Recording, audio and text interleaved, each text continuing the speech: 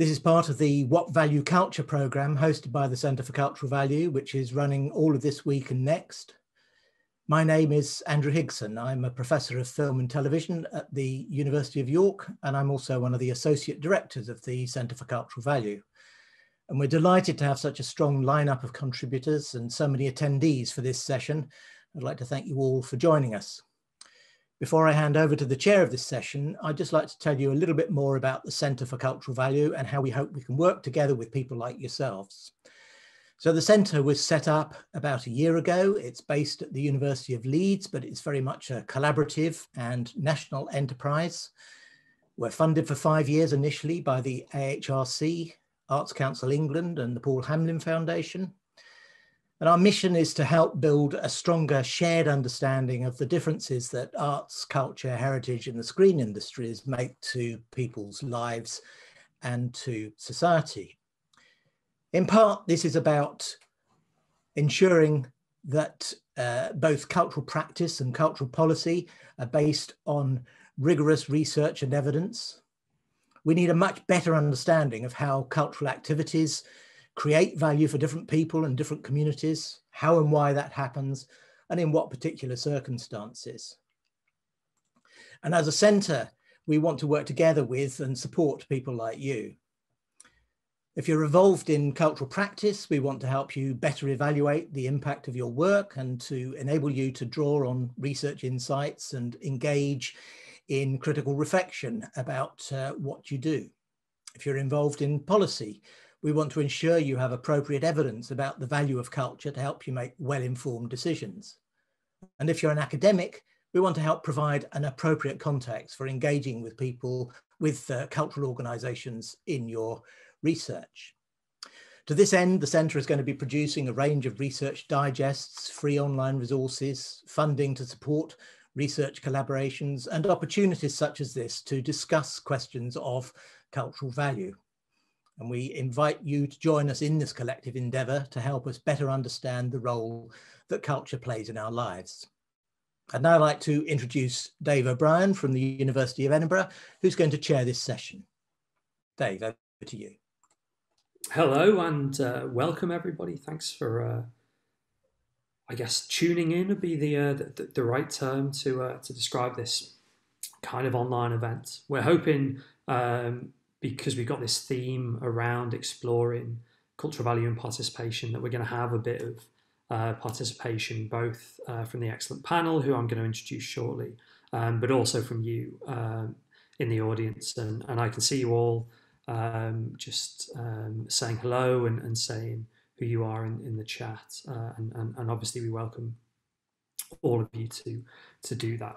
So what we're going to do this afternoon is think through a, a really kind of grand, uh, I think, question um, around cultural participation.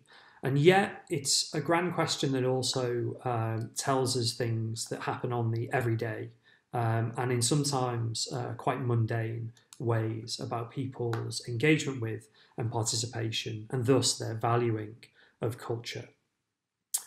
As part of this conversation, um, we've got an experienced and uh, expert panel to join us. And just before I introduce them and, and, hand over to them for some opening remarks, I'm just going to do a little bit of, of housekeeping. Um, we've got a live transcriber. Um, so if you'd like captions, you can just press the uh, closed caption button, which should be at the bottom of your uh, Zoom screen. Um, we are um, kind of encouraging the conversation through social media using the hashtag uh, valuing culture and also uh, tweeting the Centre for Cultural Value as well. Um, we are recording this uh, just uh, to warn you. Um, obviously, um, if you don't want to be seen and, and don't want to be uh, recorded, um, just feel free to turn off your, your camera uh, and your microphone. Um, we won't be sharing the chat publicly. Um, and for the breakout session, I think there's about 150 of you now. Um, if it stays that number for the breakout session, uh, we won't be recording those as well, so you'll have a chance to uh, chat amongst yourselves. I'll say a little bit more about that later, um, but for now, I'd like to hand over um, to our contributors. Um, I'd like to introduce uh, Nisha Tandon, who is the founder and chief executive of uh, Arts Ekta, uh, Amerah Saleh, who is the general manager of Beatfreaks, Sarah Clarke, who is learning and participation manager at the National Civil War Centre, the Palace Theatre, and Newark Castle, uh, and Zulfiqar Ahmed, uh, who is director of The Leap in Bradford. Um, and I'd like to offer them uh, three minutes or so. Uh, I'm going to be quite strict uh, and time them to give an initial response to this grand question of what might cultural value and participation look like with and post COVID 19. So, Nisha, over to you, please. Good afternoon, Dave, and good afternoon, everybody here from sunny Belfast. Um, I've been given this opportunity to talk to you all about um, what might cultural participation look like in post-COVID-19. Um, my organization really works with very vulnerable and very vulnerable uh, communities of BAME individual artists and also the uh, BAME organizations. Um, and also in the very much of an area of deprivation uh, where culture or cultural activities are very, very divided, as you will know the history of, uh, of Northern Ireland. And to bring peace and reconciliation work together through cultural activities, that's what we do. And then that's how we support our individual artists to do that as well. There were a lot of challenges for everybody who works in cultural arts and heritage um, from since March. And we had to really, really think and adapt uh, our artistic approach and engage with the communities in a different ways. And that different ways was that how can we serve our communities who are so, so vulnerable, uh, i.e. the refugee uh, and asylum and also our um, older people. So we started to do some online delivery, but that had already challenges within ourselves that we were not trained enough in our digital side of things. So how do we adapt to that? Um, so we had to retrain not only ourselves, but also our uh, artists and also the organizations who we were uh, asking to be part of our whole program. So but there are still there were a lot of challenges and there are still a lot of challenges which we are facing because digital is not everybody's way of uh, working and we had to uh, look into making more digital strategies um, and working very closely with our local council to see how we can develop that. Um, so that, that was one side of things. And also in terms of the cultural participation, um, which we feel that after um, COVID, post-COVID, or during this period now, um, the uh, vulnerable communities just had the very much of a lack of confidence in coming back into the open shared spaces and open spaces or into your own cultural space here. So it that was another um, another challenge that how can we really, really support their mental health? So we started to do the delivery boxes um, of uh, arts and cultural packets, which were delivered at their doorstep. And they were starting to do these things at home with step-by-step -step guide. But then that also is not going to give us the confidence to keep bringing, you know, to bring them back? And how do we keep on engaging with them and keep uh, the audience development the way we want to have. And we are very well known for our outreach program. So how can we keep these um, cultural activities uh, alive. And those are the most challenging things which we are thinking at the present moment and how do we do. So cultural boxes is one of those things which we are now reaching out to most of the schools and most of the other and online things. But that is not our future because we really do not know how to uh, bring everybody together in the space which we really, really want to, though we have uh, thought about it. But again, um, the digital strategies um, is another way of looking forward. And we did do our festival online and we reached our audiences internationally. But um, reaching international audiences is bringing Belfast and Northern Ireland to a platform where the travel and tourism, whenever it sort of uh, uh, comes back to its normality, the economic benefit will be it. But just at the pre present moment, what we can do. So my challenge is that we should look into the cultural cities inquiry and also look into the cultural uh, compact programs where the leadership investment and talent and place is so, so important. Thank you. My three minutes are over. Um, oh, oh, dear. No, don't worry. That, that was an excellent start and lots and lots of things uh, to think about, lots of, lots of practical examples as well as challenges. Um, so, uh, Amerah, would you like to, to go next? Yes, thank you, um, Dave. Um, hi, my name is Amerah Saleh. Um, I'm a general manager at Beatfreaks, um, spelt with a double E, so it says B free in the middle. Uh, we are an insight and research agency. We work with brands, governments, and funders who see value in sharing power with young people. So we're all about distributing power in young people who are not just the leaders in the future, but leaders now and have a lot to say. We offer insight and youth engagement to unleash the creativity of young people, meaning they get more opportunities, networks, and power. But in return, the businesses and policymakers stay relevant with incredible diverse talent, ideas, and innovation. Our most recent work has been the Take the Temperature report, which worked on the impact of coronavirus on young people across the UK. And the work that we do essentially is all about working with organizations to find solutions to uh, problems and or as we like to call them challenges we thrive in um, and work with young people to make sure that that they are best represented take the temperature is one of the one of the pieces of research that we release kind of free and it's it's uh, something that we enjoy kind of making and creating and offering it back to the public to say here is young people that we've spoken to around the country. So we think we spoke to about 2,000, maybe just under, uh, young people uh, in March around what does coronavirus mean for them and how does it impact them. So that's a free report to download. It's a very interesting question that we pose. Um, and I'd like to start with a post COVID world doesn't exist yet. Um, and we don't know what post COVID means. So it's a very hard um, thing to start thinking about. And I think actually particularly in the cultural sector, we tend to go, okay, what's the future? But actually, we forget about the now and what we're doing now and how we should respond. One of our biggest learnings has been this idea of FOMO. And this idea of the fear of missing out has been a huge um, marketing tool by accident that people are allowed to go. So when you localize culture, that you go and you hear about it in the grapevine or through your friends, you're like, oh yeah, I'm going to go to that because it's only popping here for now. Whereas now, digital has catalysted what culture means. You not only consume it around you, but you can consume it from anywhere in the world. Pre- recording and having stuff online for a longer period of time also means I don't have to catch it in that moment. It's not going to be if I miss it now, I'm never going to see it again.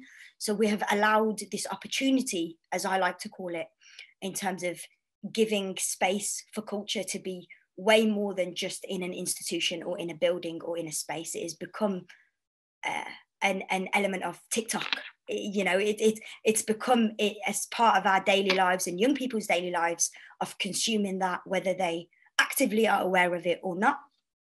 I feel like the biggest thing that, that is, a, is a challenge that we should be talking about and thinking about is how we market culture and cultural activity because it's now become how does tech enable our activity and actually what does that mean on the biggest scale in, for digital poverty and access to young people that are in the most deprived communities that can't access a, a Wi-Fi connection or um, that, that can't sustain or have a, one of the biggest learnings is young people's home environments. I mean, we're all in each other's living rooms which is is a very weird space. So I think yeah, a big a big question for me would be how does tech enable more people to see this, and also what does it mean for digital poverty? Thank you. That's really that's really great and a, a really interesting combination, I guess, of the, the practical challenges, um, but also, I mean, the incredible potential. Um, both for you know delivering culture, but also potentially for kind of revolutionising institutions and, and really. Um, I was really struck actually by you, your use of the word power really early on, um, and and that'll be something we, we might pick up on later. Um, but for now, we've still got two really uh, interesting speakers to go as our opening statement. So, um, Sarah, if you'd like to go next. Hi. Um, so we were asked to reflect on what we've learned over the last few months. Like a lot of small museums and small theatres out there, the first thing we learned was that we weren't ready. Um, our website was limited, our digital skills were sadly lacking, and our community relationships were really underdeveloped. Um, but we had a fabulously creative team of people who were on the case and they were able to react quickly. We got in touch with schools and families to provide home learning schemes of work. We started a community knitting project that we've been wanting to do for ages, and we ran the district's food distribution hub from our stage. We made use of some of the great digital training which was available, and we've learned how to create our own films with subtitles, how to make stop motion animation, create and market podcasts. I even, and I'm showing my age here, attended a course about how to use TikTok. I mean, my children don't need a course to do that, but I did. Uh, but it enabled us to run the big draw in an alternative way this year when we couldn't get out and about with a crowd of people and a bunch of pencils. By the summer, it was looking like this wasn't going to be over anytime soon, so we needed to find funding to help us adapt to the with COVID world. I knew that we needed to come up with a solution for schools, which would mean that we could still offer an excellent service regardless of what COVID threw at us. Um, so a lot of emergency funding streams weren't open to us as we're a local authority funded service. So I was starting to tear my hair out when I discovered the Art Fund's Respond and Reimagine grants. When I was a primary school teacher, I never tired of explaining to children and their adults that problem solving isn't just for maths lessons. Creative people are great problem solvers because we can see things in interesting ways. And what I loved about the Respond and Reimagine Fund is that it was open and flexible, so it allowed for experimentation. Sometimes experiments go the way you hope, and sometimes they don't, but I think that's okay, and they're always worth the risk. So we were granted £40,000 to rethink our approach to formal education, which to us is untold riches we are so pleased to have had this opportunity to pause and take stock, even though it were difficult times. We've worked out a package that includes on-site visits, in-school visits, a new generation of loans and online activity, both live and recorded. And we're in the process of creating and piloting parts of that at the moment. We've listened to our audiences, looked again at the curriculum, identified what we do best and started afresh a blended approach to learning is what's going to enable us to be responsive and continue to provide high quality experiences for learners on any platform. I feel that the key lessons that we as a sector can learn from our experiences in 2020 are these. Firstly, be flexible. Never be afraid to adapt and learn from experiences. And that applies across the sector from funders and board members to strategic planners to front of house staff and facilitators. And two, value the views and the needs of our audiences. We're not here to deliver culture, art, and heritage that we think people need to see. What do our audiences want to participate in? Um, it's our duty and our privilege to find ways to help them to do that. So, what might cultural participation look like in the future? Let's be positive. I hope it will be flexible, open, and listening. Thanks. Perfect. Um, I just clocked another uh, another mention for TikTok there, which um, again we, we, we, might come back to because uh, I think platforms are particularly interesting um, in this context, both what they enable and, and then maybe actually what they uh, what they shut down or, or maybe what the uh, the trade offs are. Um, just before um, I hand over um, to our final speaker, I'd just like to flag the process um, for the, the middle of this session. Uh, we've got 166 of you, which is brilliant. Um, and we're going to have a bit of a Q&A, a bit of a discussion, which hopefully is going to be driven by you, the participants, by uh, throwing comments or questions into the chat. Um, I'll be kind of monitoring the chat, you know, picking up on um, particular themes that are coming up. Um, hopefully, I'll try and bring you in to ask your questions if the tech um, allows. That's one. Uh, two is uh, we've set up uh, breakout rooms uh, where we'd like you to do a little bit of kind of uh, networking, and a little bit of consideration. We've got a broad question about what people have learned from delivering and engaging in cultural participation, uh, what people might do uh, differently, you know, both in the now and as the the kind of the next stages of the pandemic develop. I'll say a bit more about how that's going to work um, after we've heard um, from our final expert witness, uh, Zulfiqar Ahmed, who is from the LEAP. Thanks, Dave. Um, so I would suggest that there are perhaps three key cultural shifts that present strategic challenges and opportunities for culture uh, and cultural organisations during and post the COVID pandemic. Um, the first is a shift in personal values. So personal values reflect uh, what matters to us most as individuals and have a major impact on the way that we behave and participate in cultural life. So when life conditions change as they have, it can often cause people to shift their values and reevaluate their priorities. We've seen this shift in personal values take place uh, because of the pandemic. Um, I would say we've arguably seen four personal values emerge uh, in priority during this pandemic, and I'd say these are making a difference, uh, adaptability, well-being, and caring. Uh, there's evidence too that the values of continuous learning and family that were already present pre-COVID have since increased in priority for most people, uh, as people have found more time uh, to devote to themselves and their family and friends. Um, so the shift in priorities, prioritizing these values, I would say, reflects the need that people are feeling to take care uh, of themselves and one another, uh, and that's a, a, major cultural shift. Um, um, overall, what I'd say is that this may present a major opportunity to scale up reach uh, to people that may not have been previously engaged in culture, and for cultural organisations to provide the ideas, creative tools, and resources communities need uh, to embed these values into their lives on an ongoing basis and you know, uh, into the future. My second reflection is around who drives culture, or to put it another way, uh, where ownership for producing and sharing culture lies. Um, producing culture has largely been a specialist activity which has mostly been left to artists and cultural organisations. And most people pre-COVID were um, likely to be passive recipients of culture uh, rather than producers. So with COVID, we've seen the emergence of many hundreds of examples of artistic and creative efforts led by individuals and groups of people who prior to COVID might not have had the motivation to create opportunities for others to get involved in culture uh, or cultural activity. I think this is a really exciting development uh, and it has huge potential post-COVID if the energy and momentum for community-led culture can be harnessed and supported by the cultural sector post-COVID. Um, and I think there's a, a, real opportunity for the cultural sector to, uh, to lean into that space uh, as people are more kind of alive to being leaders in their places. Um, the third, my final area is around collaboration and partnerships. Uh, so the pandemic has created a, a, problem that's far too complicated for any one agency or sector to respond to on its own. Um, uh, and that's led to uh, the creation of alliances that may have been unlikely or taken huge amounts of energy to convene prior to the pandemic.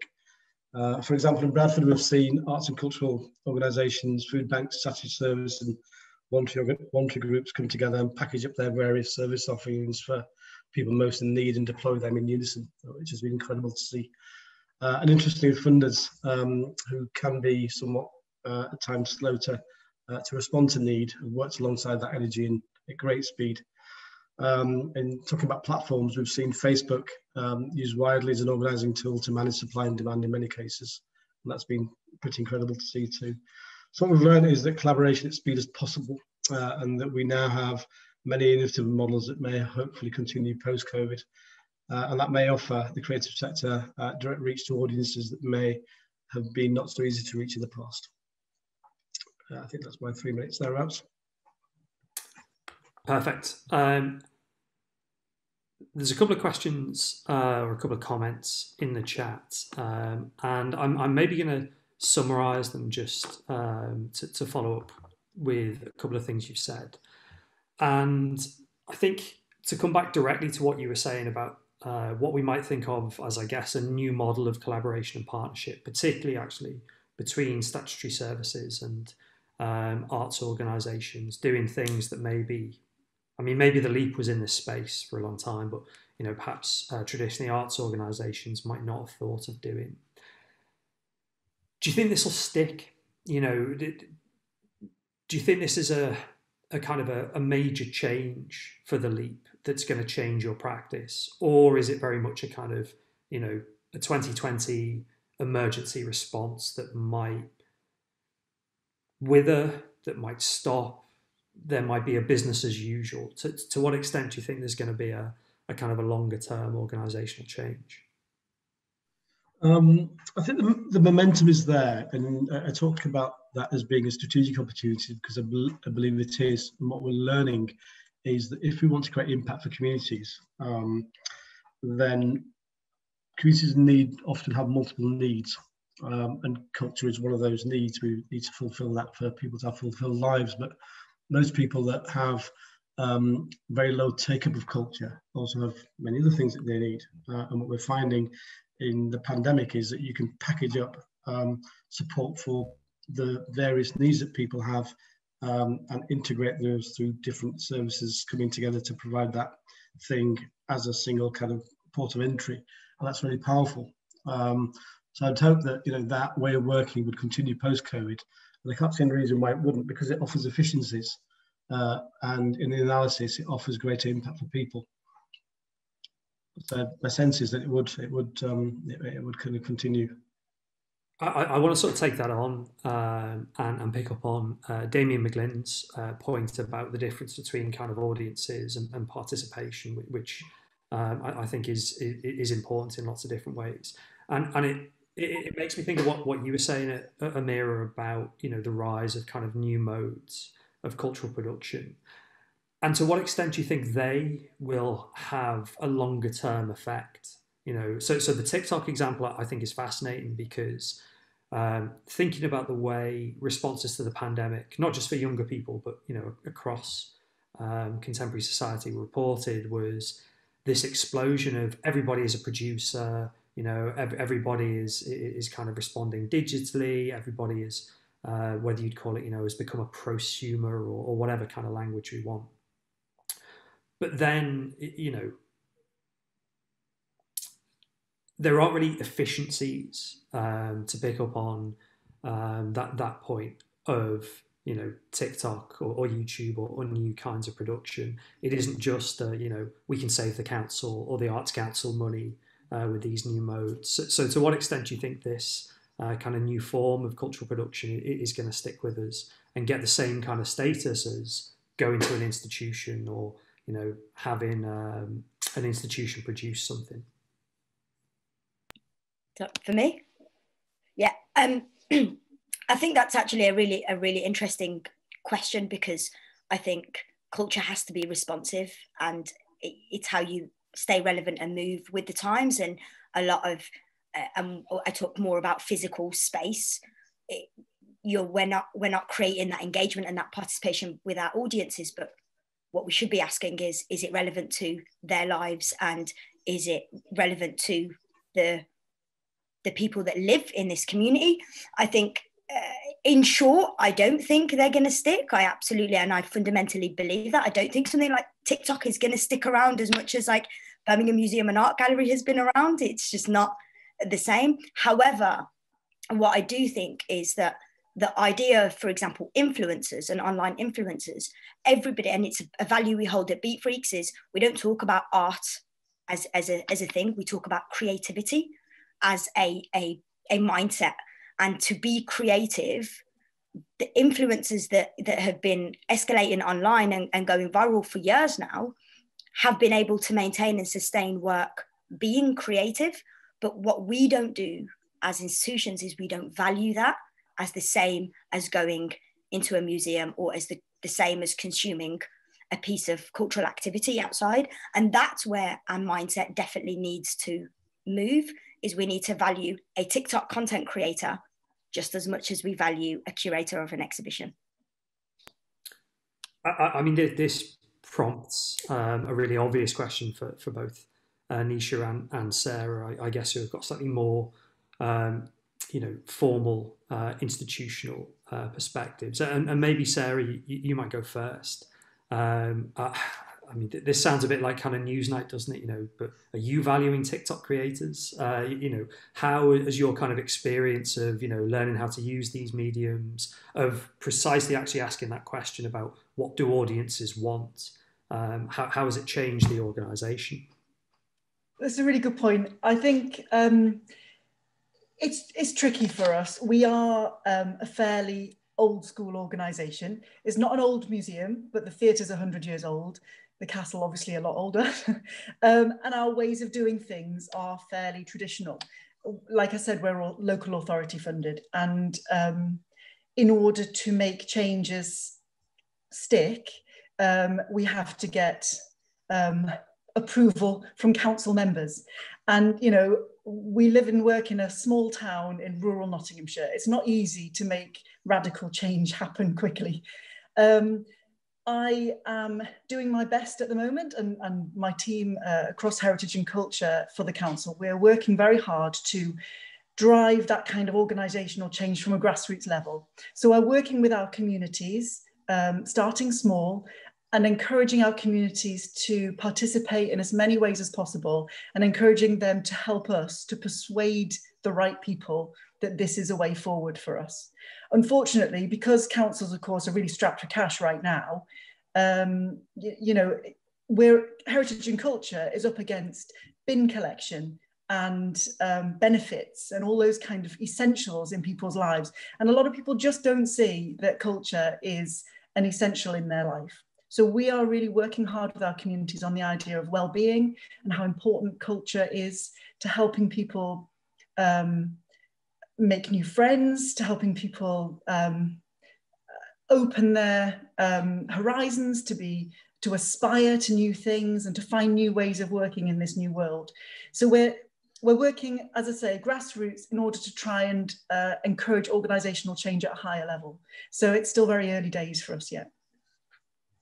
I mean, a, a similar question to you, Nisha. I guess um, that idea of art boxes, art packages, um, is that something that was, uh, I guess, embraced by, um, you know, the kind of policy context? Um, were you able to speak to possible funders and kind of say, this is our new model, you know, we think it's great, you should embrace it? Or I, I guess are people kind of, you know, expecting well, this will all stop as soon as normal, whatever that might be, returns? Uh, yeah, it was uh, in our case, uh, it was that we needed to feed and we needed to bring the cultural side of things to the very vulnerable um, for their mental uh, well-being. So we had to change and we had to think quickly how can we do that? Because everybody is not digital savvy. You know, everybody doesn't know how to do digital things. So we had to really, really go out down to the grassroots levels, as what Sarah has just said, and to be out there in our communities to help and supporting them. So arts boxes were the things which I could see because not only that, we were also delivering food parcels, medicines, and all those. So we had to change our way of working. And that was just only the side, one thing of side thing of doing it. But I think our future is not going to be about cultural boxes. It is going to be uh, to be really, really changing the citywide policies and citywide way of working and creating those spaces that even a small amount of people could come together and learn from each other. Because I find that the value of culture is more whenever they are learning from each other than to be going um, in, in a box and learning it in your own individual home. So I think it is very, very important that the policymakers should understand that citywide digital strategies are needed. But yes, if you have a huge, big uh, festivals or events which also went all digital side of things and bringing more international audiences uh, into the in, in in front of Belfast or or in front of tourism and giving that economic impact for later on. So I think that is also needed. So there's a two sides of, uh, of our story here. Um, but for me, the communities who we are working with, um, it is going to be more the shared spaces and also uh, giving them the room and space and the value of the culture in their own uh, ways. Yeah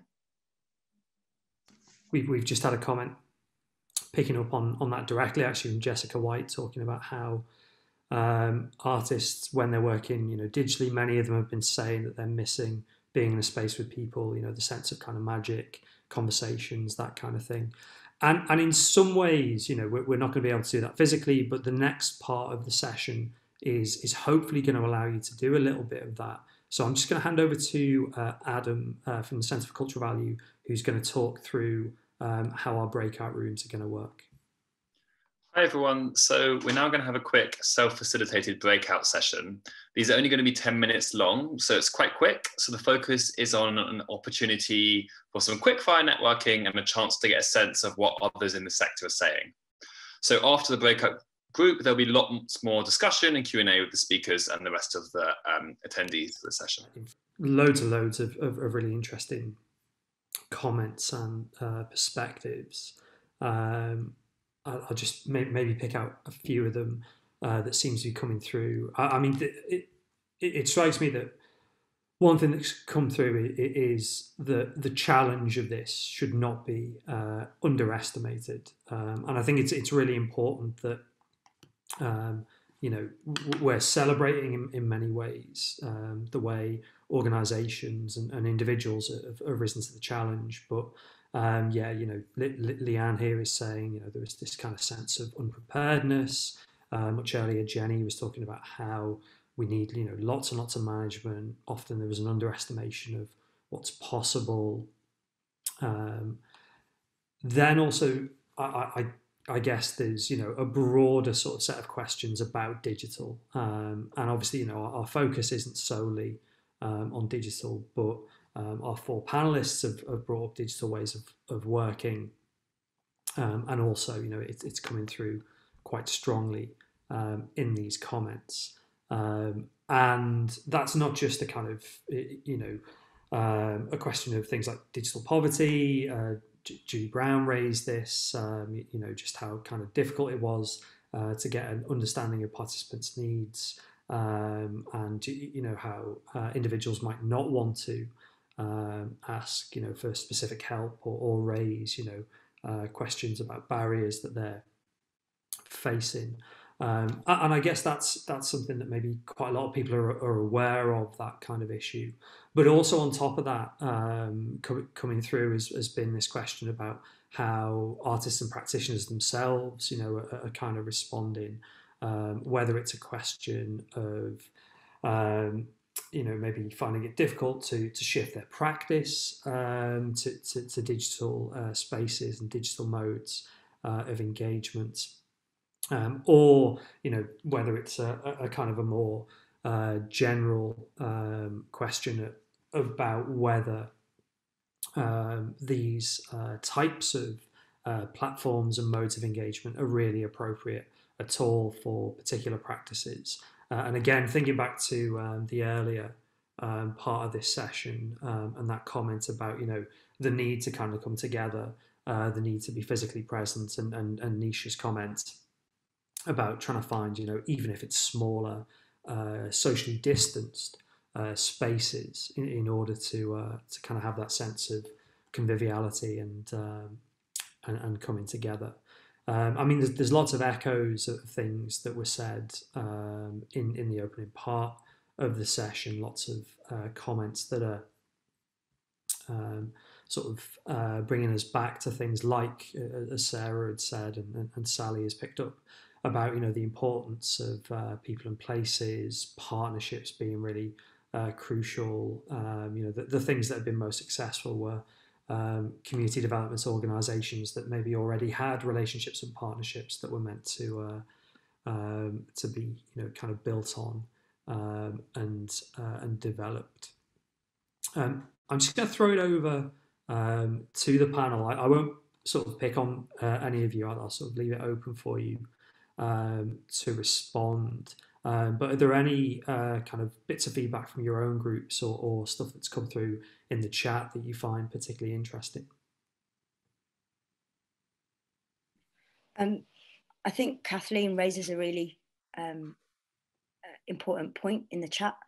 Um, and just to read it out, it says, To me, there is an elephant in the room here in this discussion. How can we really talk about cultural value during COVID and post COVID and not place equal value to the impactful events of the pandemic and the endemic of racism around George Floyd and Black Lives Matter? Aren't these in, in, inextricably linked to the call and need for the change we require in culture, the arts, how, why, and who participates, etc. I think it's, yeah, like it's something that is um, earlier. I think Dave, you were talking about um, kind of the the importance of of the arts and culture, and I think we we have to be talking if if we can't change now, and when we've had six and potentially 12 or however many months to to reflect and look outside our own lives and beyond who we are as people and if we can't make a change then and and now it's it feels like this is the chance where we can't go back to a um, cultural sector that is thinking the same as it was before covid particularly around equality. Can I ask before um, bringing the rest of the panel in? would you say you're you're optimistic? You're um, pessimistic at, at, at, this point about that kind of change in the sector? Um, Dave, can I come in here? yeah, of yeah. course. Yeah.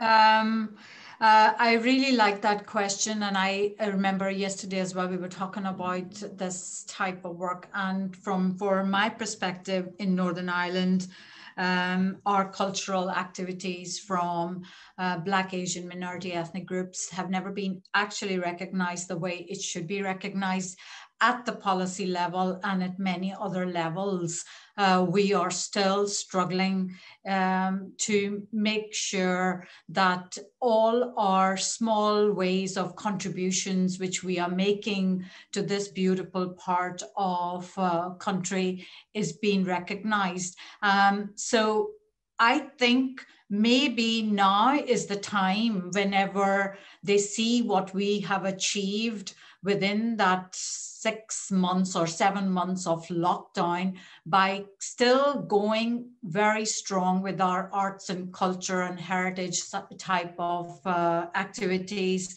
I think uh, where BAME and the very vulnerable communities are concerned, I think it, at the policy level, they should be listening to us and should be making those changes now um, and, uh, and to be giving better future for our very vulnerable groups. And that whenever I say vulnerable group, I mean disability, I mean LGBT, I mean all those other uh, groups who are very vulnerable as well.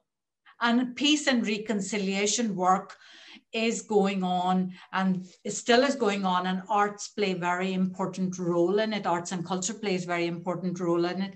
But come brexit what is going to happen?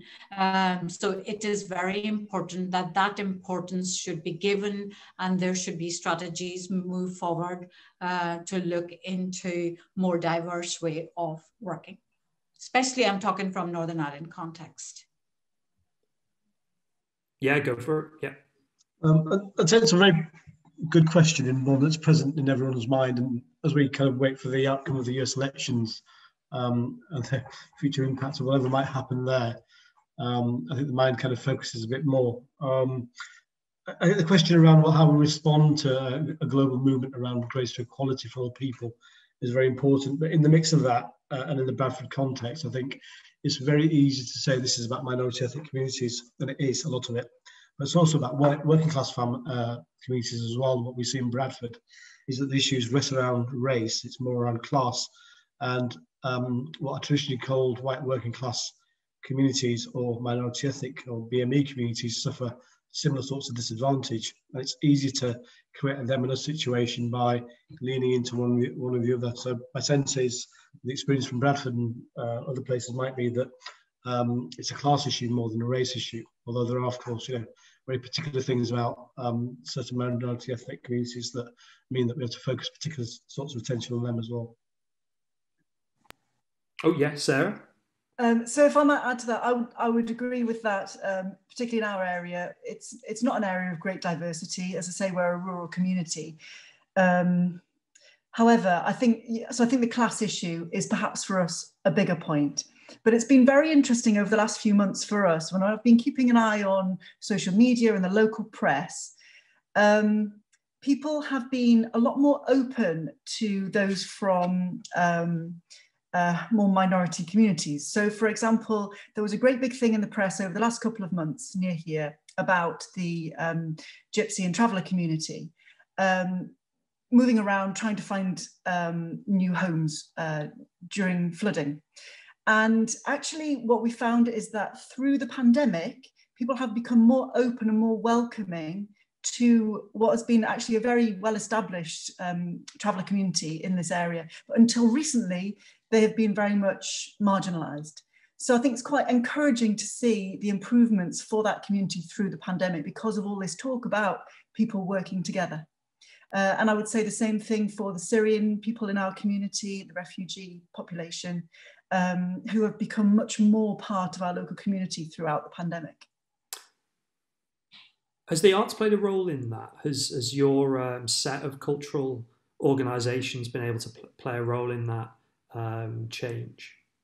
There has been a small amount of it, um, not so much from us, because as I said, we're, we're classed very much or considered very much the traditional sort of venue. So we've done things like food parcels, we've delivered um, culture, a little bit like Nisha, but not I think on such a great scale, delivering little um, packages of arts materials and things to people's homes.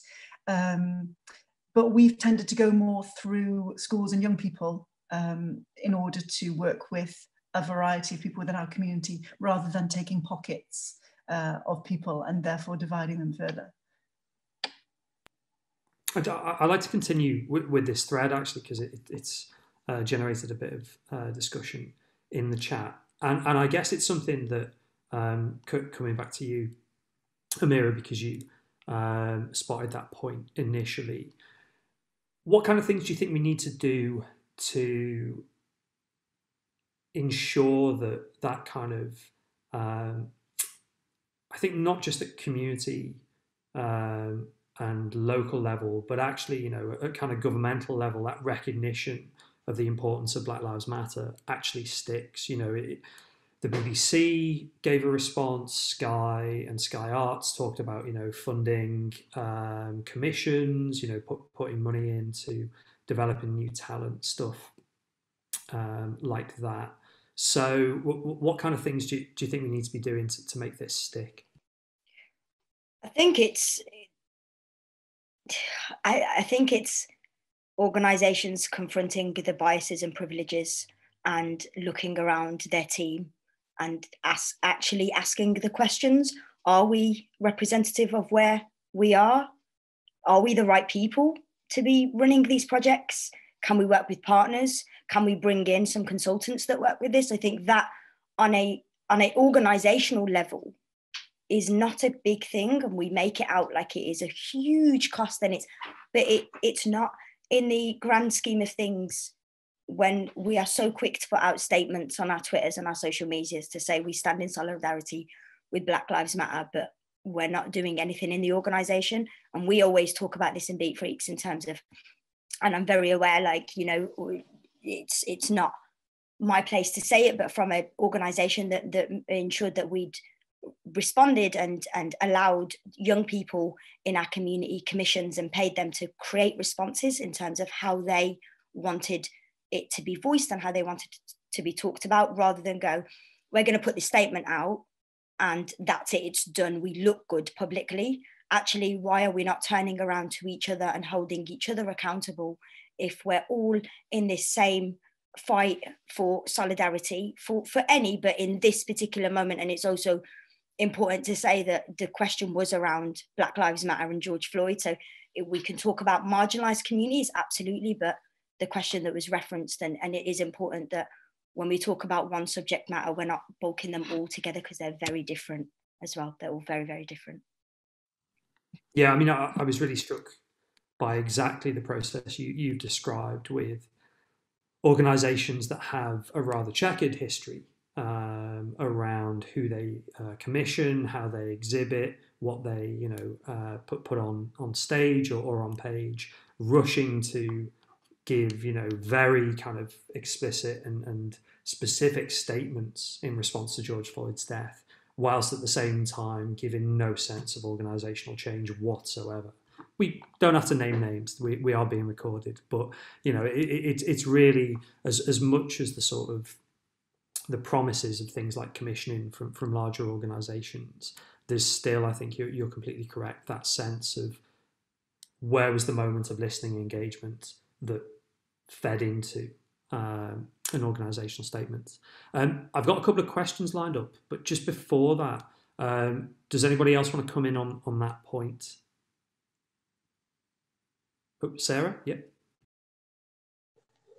Um, I just want to um, echo Amerah's point about about um, partnership working because I think you're absolutely right about that. That um, we don't have all the answers within our organisations, and we have to recognise that. Um, we did not put out a statement of the kind that you're describing because we didn't feel that we were in a position to do so. Um, but what we've done instead behind the scenes is work with um, a, a, um, a, selection of partners to try and do some research on the lives of Black soldiers during the Civil War, the British Civil War. Um, and that's going to take us a long time to actually get that research because the research doesn't exist. So we're trying to do a piece of work around it so that we can actually make a statement from a point of knowledge rather than as a reaction to anything. And I think you're absolutely right. We've got to work with the people that actually understand the points before we say anything. I'm, I'm just going to try and uh, bring in um, a, a, comment now, a, a question. Um, so hopefully the tech people are ready. Um, so Sophia uh, Brazio, I, th I, think it is how you pronounce it, uh, has raised a really interesting um, point um, that didn't uh, she says she didn't have a chance to, to discuss in the breakout room. So if, if you're sort of up for it, Sophia, uh, and the tech people can can highlight you, it'd be great if you could ask your question to the panel.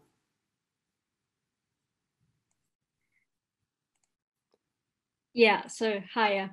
Um, so as I said in my question, I've done research during the pandemic around how this sort of new situation um, has represented a chance for disabled people to get more involved both in culture production and access to, to culture, so consumption. Um, and what I found was that there was a widened participation in general, and that many disabled creatives were also allowed um, sort of career progression because the online space removed the barriers that disabled people usually encounter um, in cultural spaces, whether that be physical barriers or discrimination. And um, so this has been a good thing. But my question is again, we need to consider the intersectionality. So, how can we make sure that everyone has access to this new form of online culture when access online requires access to technology and we know that not everyone has that. Would anyone like to uh, step forward to answer that? Or does anyone have any reflections on on actually um, that that kind of work?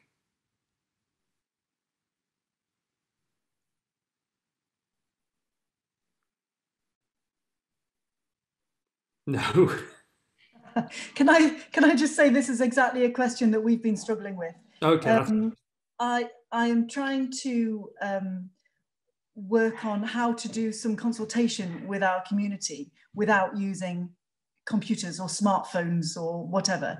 And all I can come up with at the moment is for me and my colleagues to be walking around the town or standing in the marketplace with a market stall and talking to people. Um, you know, the market, we're lucky we're a small market town, we've still got a, a, functioning market. So I could actually be out there three times a week talking to people. And I think that is really the only way I can come up with at the moment in which I can meet face to face with people while our museum and theatre are closed.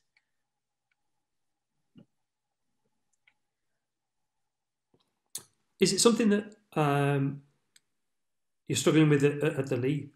Um, does the Leap have, I guess, uh, um, a more kind of you know direct uh, relationship in terms of people's use of space. I, I can imagine um, not just in terms of uh, people's ability to enter a, a castle or a theatre, um, that you know, but also the kind of uh, rural uh, setting might have particular and, and, unique issues. But but what what about in Bradford? So the link focuses particularly on uh, inner city wards with high have um, density of population and um, a very low engagement in culture traditionally. Um, the, I mean, the area is characterised by having low levels of um, kind of take up technology broadly. And so the decision that we took very early on about online was that just wasn't relevant to those people um, because they weren't access, accessing much by way of culture anyway. Um, very few had kind of access to tech, and so um, trying to do that, trying to engage them in culture uh, through technology would have meant a lot of time and a huge amount of money, but with very little impact. Um, and instead, what we decided to do was work with other partners who were delivering more direct sorts of um, provision to people's door, and that for us felt to us to be a much better use of resources than you know trying to do something that we it might have been a useful experiment, but our sense was it just wasn't valuable, and so uh, we just didn't do it. Fair enough, um, and it, it's interesting to hear actually that kind of look. This isn't working. You know, it, it, it's not for us. Um, th- th- there's a specific point to pick up on what Sarah was saying um, about are you doing this in a kind of organised manner? You know, have you got a sort of, I guess, you know, it's Saturday afternoon pre pre lockdown too, we know people are at the shops. We'll set up, you know, um, in, in a physical space to talk people, or is it more kind of ad hoc? At the moment, it's ad hoc, um, but that's because we've been open until today. Um, now that the museum and, and, all our sites are closed again um, and our staff are not furloughed, um, we are going to be out um, at least twice a week and taking some form of cultural activity with us. And we don't know what that will be just yet. We've got to work on that plan. Um, so it's, but it's also going to be used as a, as a consultation exercise for us to be actually talking to people. What kind of cultural participation are you interested in? What cultural media are you interested in? Are, do you want do you want more music? Do you want more theatre? Do you want us to put on performances that you can see in alternative ways? It's really about asking questions to find out what people want from us in terms of culture within the district. So we'll, we'll just take some fun things to do um, that can be socially distanced and outdoors in order for us to be able to start those conversations. muted there, sorry. Uh, I wonder if we could spotlight uh, Damien McGlynn, um, who, has got a, a, question about wider social shifts, and, and, it, and it picks uh, up on, on Ricky's point about uh, the kind of uneven distribution um, of resources in society. So if the tech team uh, could spot spotlight Damien, and if I can wave or sing a song, and oh, wonderful, yeah. uh, could, could, you ask your question? Thanks. Uh, you've probably already articulated it better than me, Dave. Uh, that's what I was hoping you might do. But yeah, I was just thinking about the kind of the main question of, of this session being um, kind of with and post COVID. And I think it was Amerah who said earlier imagining the kind of post COVID is, is extremely difficult. We don't know when that point is going to come. But what we have seen, and I mentioned just some of the stuff that has come up, some of the rethinking that's gone on with some really big topics and questions, and, and the whole issue of digital exclusion, uh, about racism uh, within within the sector. All of these things have been talked about. But there's also just, I think, this big shift in how people are going to live their lives in the near future and the things that they're going to prioritize. There's been a lot of realizations for people what what is important. There's a lot of talk about a shift away from urban living, uh, the desire to live near a city center, uh, big office blocks. These could slowly be phased out in the in the next while. So, if if people are maybe going to have a, a rebalancing of how they spend their time, maybe living more rurally or sub- in suburban areas and just living and working in the same place. That that has a knock-on effect for how the cultural sector that we've all known in the previous few decades is going to operate. So thinking particularly, I guess, about the idea of cultural participation. If things become maybe more decentralized in the way we live, how does that affect things? But equally, if if offices and businesses start vacating city centers, does that open opportunities for spaces uh, and, and creative participation, I guess, within those uh, slightly abandoned spaces in cities, I guess? I, I wonder if, if I could ask Amerah to come in on, on that one, because you, you mentioned specifically the kind of, you know, going beyond institutions and going beyond physical spaces. Um, and that's a really interesting kind of question, isn't it? If the sorts of trends that we're seeing, at least the kind of media reporting about people don't want to be in the city centre, they don't want to be commuting to work. Organisations are saying, you know, you don't have to commute, or is is this maybe you know something a bit more temporary? I think I think it's it, it's really interesting. I'd like to start this off with um, it feel it feels very big now with all the conversations that were happening but it's also important to say that uh, these are big conversations for a lot of people. The only thing that the pandemic has done is made a lot of people with privilege who they could that could be ignored is it just it, we all faced it directly and i think it, it's important to because there's been a lot of work and we can't just come in now and all go oh this is a really big thing let's all solve it because there's been years of work that you know black people have doing lgbtq plus people have been doing, disabled people, that that work has been, and they've been trying to fight that justice for a long time. I think it's it's really interesting when you're talking about space because in Beatfreeks at the moment we're re- we're going through a cultural reimagined series of workshops in terms of what does Beatfreeks even look like, um, because we're not in the office physically, and our culture is very much around each other. Like we are like a big family. We help each other move houses, like because we're so close together and the global pandemic has put us all in like a screen and gone now you still have to have that same relationship and it's been very weird.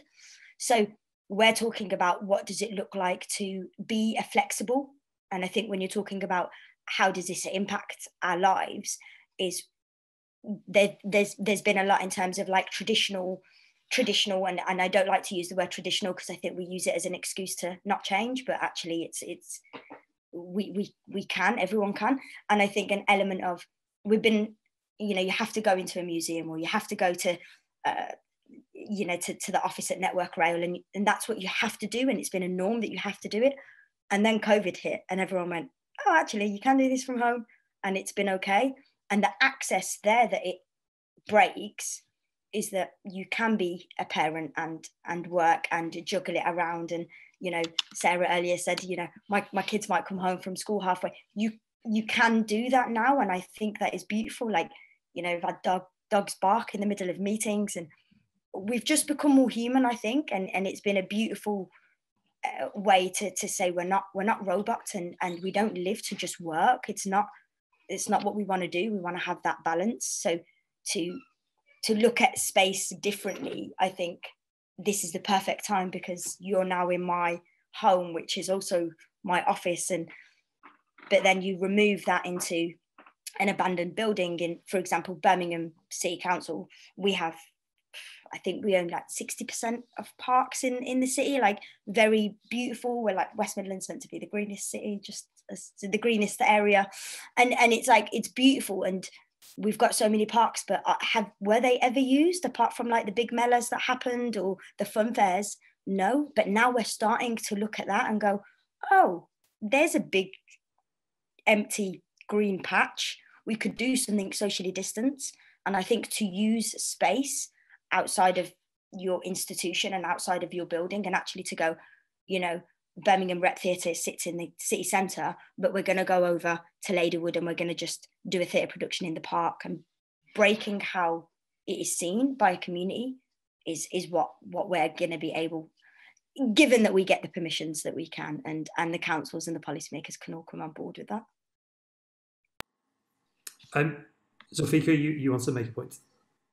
Yeah so really love that mirror um I love that kind of scope of it. I think there's a, a real good opportunity here to think about what we mean by culture uh, and who defines that. So one of the things that struck me um, looking, so I'm very new to the creative sector, I've only been in this space for about six or seven months, um, having come from enterprise entrepreneurship, was the data that we use to decide what culture is. And, uh, and um, so if you look at audience agency data, which you'll all be far more familiar with than me, it suggests that in one or two wards in Bradford, 100% of people are not engaged in culture because they don't buy a ticket at a box office.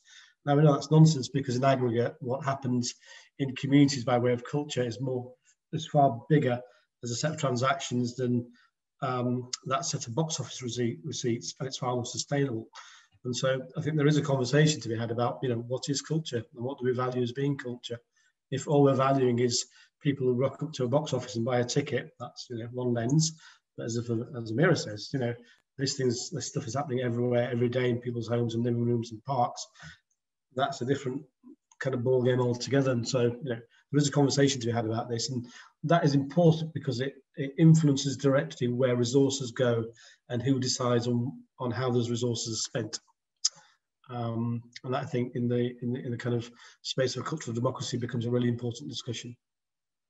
I mean, I, I, I couldn't agree more. And, and um, just to give an absolutely shameless plug, uh, myself, Mark Taylor, and Orian Brook have just written a book precisely about uh, those those kinds of issues and, and the relationship with you know what do we count as culture, how do we measure it, and then where does it you know appear in uh, funders' priorities, and, and you know not just in terms of money, but uh, as Amerah was saying, you know things like decisions about well, can you have access to that public space? You know, could you use that um, you know unused shop front for a different purpose? Things that aren't purely financial, um, but do uh, depend very heavily on um, having a much more accurate description and understanding of what culture is.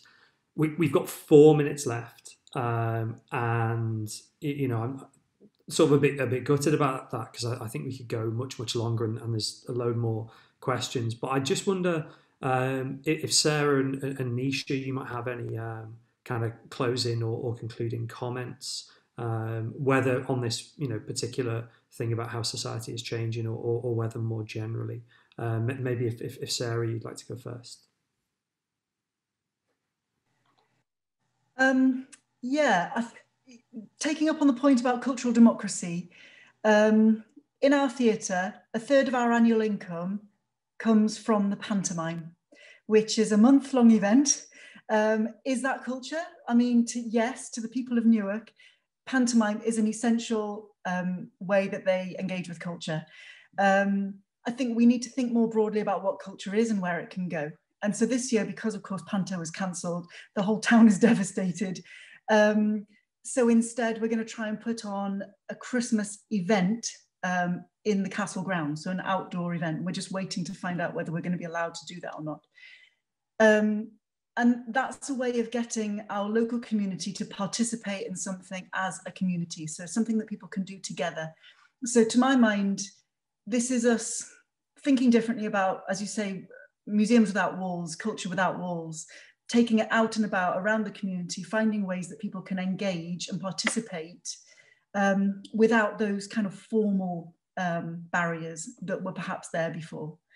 Um, so I think it is an exciting time for us. It's a time when we should be changing and experimenting and trying new things, and hopefully some of those will stick for the future. Nisha, over to you. Yeah, I totally uh, agree with Sarah that it is time for us to be thinking about that every culture uh, should be valued and every culture has a different value and uh, participating and engaging with your own um, people and with others is very very important and learning from each other. So i think leadership um, is very important in in uh, in in uh, the whole sector of arts and culture and we need to show our leadership collectively um, and also uh, putting the resources and valuing each other's culture equally is very very important and that's what i take um, today from uh, everybody that we should value each other and value the most important thing in our lives is the culture um, and bring it out to, uh, to our societies and share. Wonderful. That, that is a, a perfect end, uh, I think. Um, and we've covered all, all kinds of, uh, of, of, different issues. Um, I can't remember if it's been or if it's later this week, uh, but there is an event specifically around those digital uh, practices and, and, and questions. Um, I, if, if it's been, it's been recorded, um, and then um, otherwise, uh, I'd recommend you you sign up to it.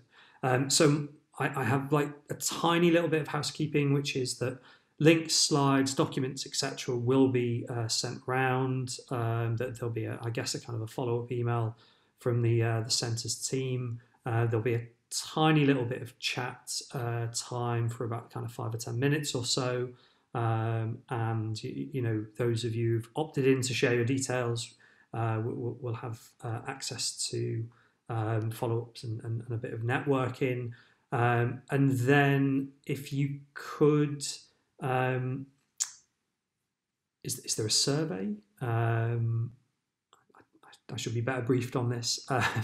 But if you can fill in the feedback form uh, that's in the chat now, um, you'll be in with a chance of winning a fifty pound uh, book voucher, um, which which sounds great. Um, so yeah, um, I mean, just thank you to the panel. Obviously, that that was really great. Um, but also, actually, thank you to you, the audience, both um, for being part of the session, for taking the time to put questions in. you, you know, it, it, it's always a bit of a wonder whether people are going to um, going to get engaged and um, where, where, the conversations are going to happen. Uh, but it looks like reading the chat that they have. Um, so thanks very much. Thanks again, and uh, and take care.